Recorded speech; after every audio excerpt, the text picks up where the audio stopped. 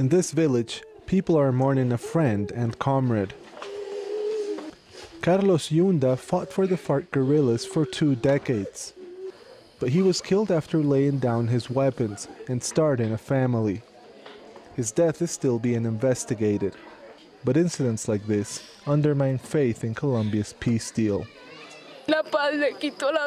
The peace deal cost him his life. It took his smile away and the chance to see his children grow up and prosper. He will never see that.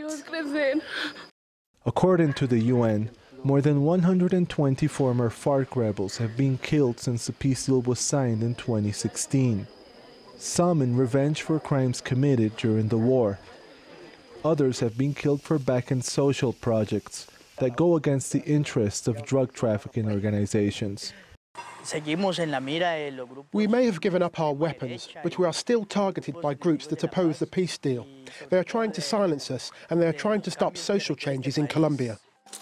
Security is not the only challenge the former fighters face.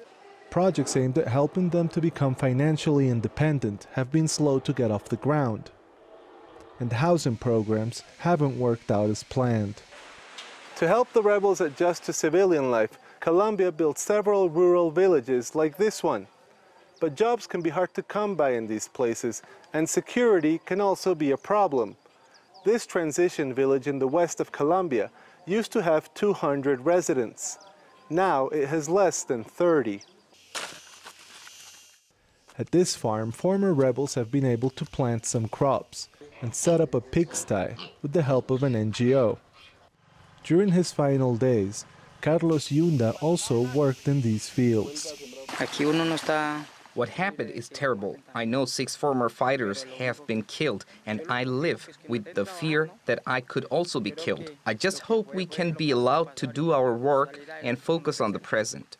Despite the threats and modest financial support, this group of former rebels has decided to stick with the peace deal. But hundreds have reportedly joined criminal groups as they lose faith in the transition to a new life. Manuel Rueda, TRT World, Cauca, Colombia.